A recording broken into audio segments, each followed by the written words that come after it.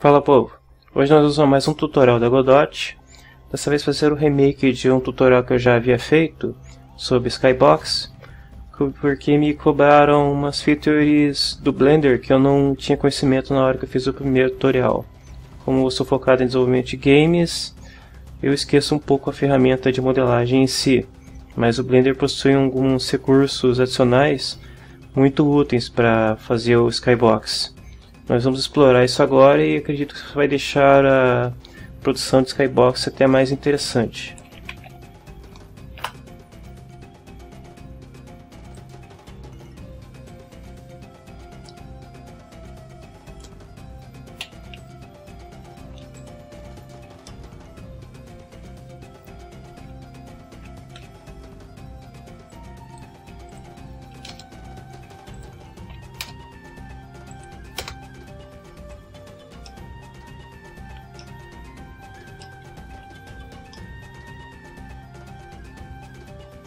Uma coisa mais importante nesse Skybox é você adicionar um ente na cena, de preferência. Ser qualquer um aqui. Vou até dar um nome para ele.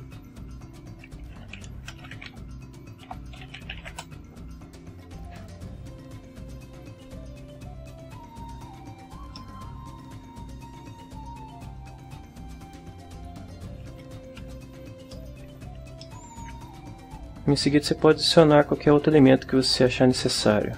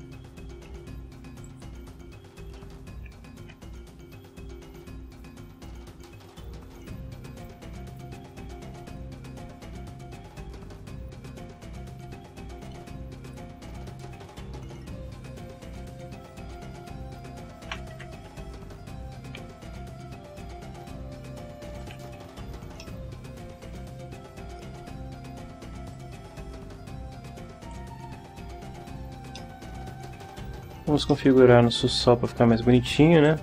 Mais adequado. Ativando a opção Sky.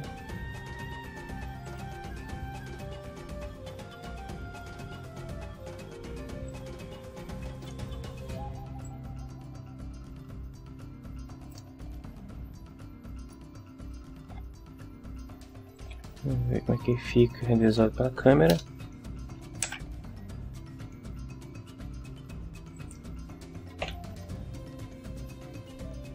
Ficou bom.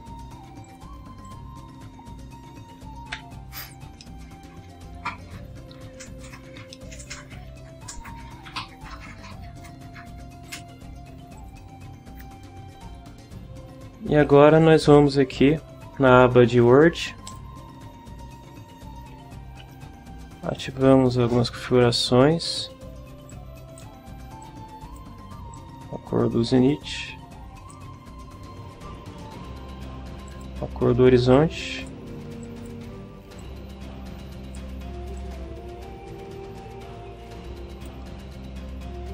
Cor do ambiente. Vou ativar o ambiente occlusion também.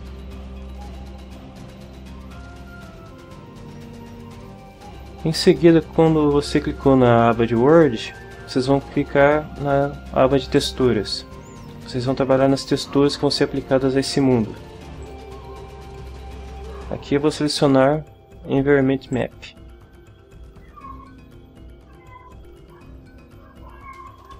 Vai um Point Object, você vai selecionar aquele empty lá. Ele que vai ser a base da renderização desse mundo. A resolução, os mapas, os Skybox geralmente usam resoluções de 256, 512 e no máximo 1024. Como nós estamos gerando uma textura que vai ser usada num, num set, vocês vão dobrar essa resolução. No caso eu quero uma textura de 256, eu vou colocar 512 aqui. Vocês vão ver porque ele fez isso aqui daqui a pouco.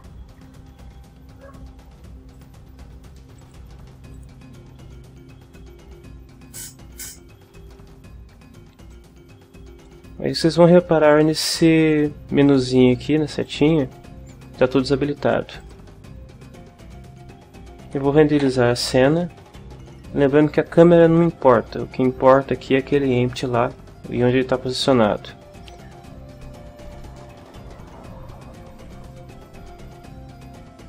Agora vocês vão ver que está liberado as opções aqui. Nós vamos salvar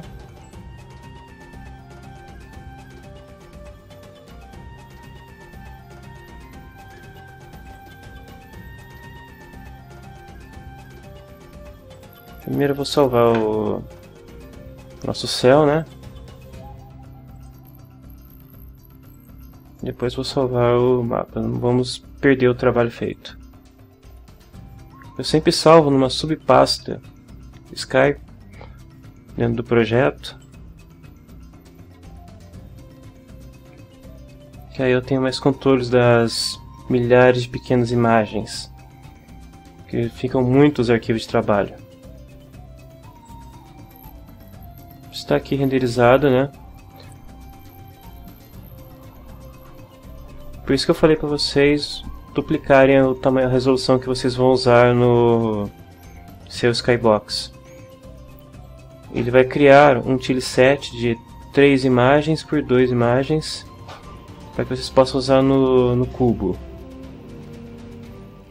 Se você pegar isso aqui e jogar no software de edição de imagens, vocês vão ter na sequência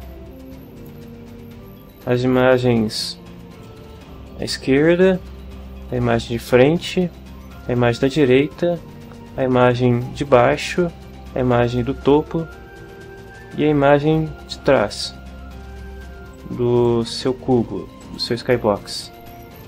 Vocês vão recortar essas imagens nesse formato para poder usar dentro da Godot.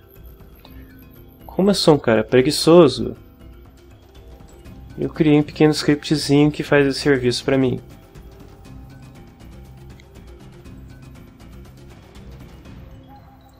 Vou deixar o link para esse script também aqui.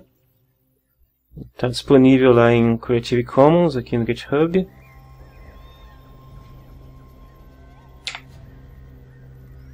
E para usá-lo, basta chegar na pasta que você salvou o Skybox, colar o script ali chamá-lo com o nome da imagem.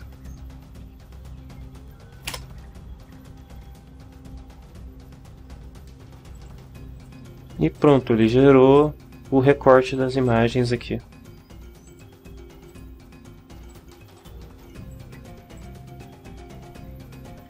Podemos jogar ela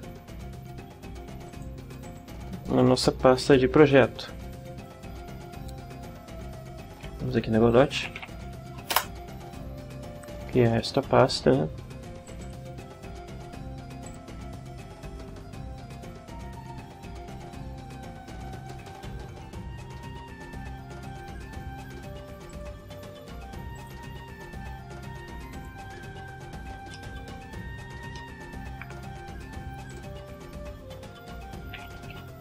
Sempre um special.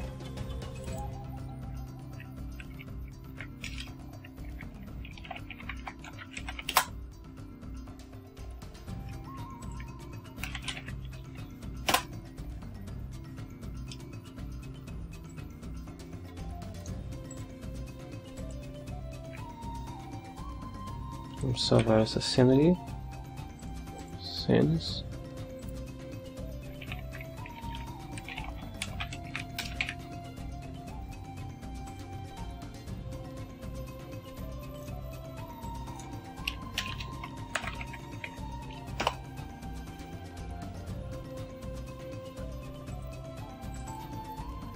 Dentro dela também crio uma pasta Sky. Jogas mais ali.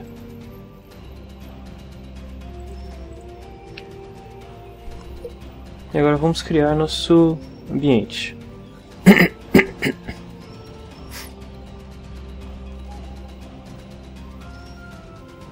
Começou o movimento de carros na rua.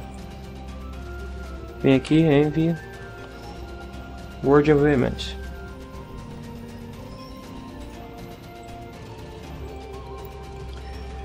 Aqui vemos em Environment, New Environment, Edit, vou salvá-lo lá naquela pasta.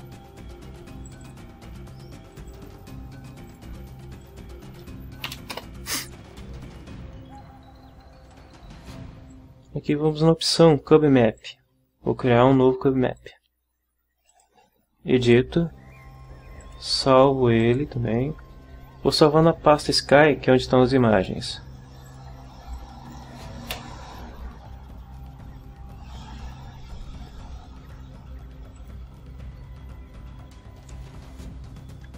Daqui fica simples, né? Vocês vão vir aqui Inside, Load, e lá na pasta, Pick Full Lift, Left, Right, Right,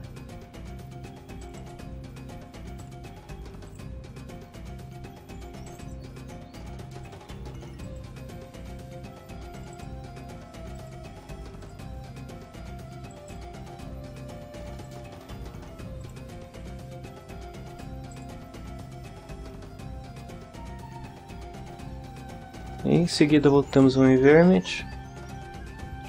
Vamos selecionar o modo, ao invés de default color, vamos colocar map.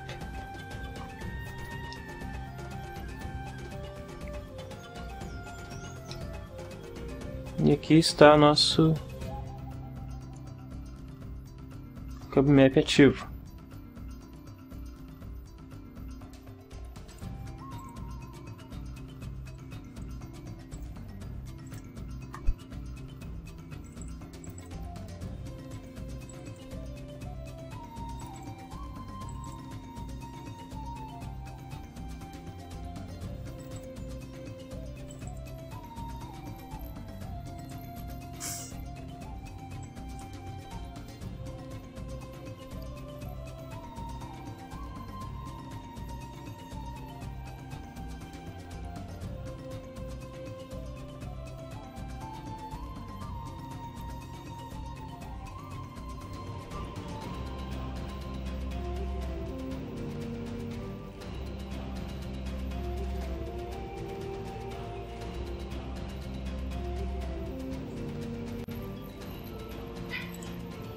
Bom, é isso.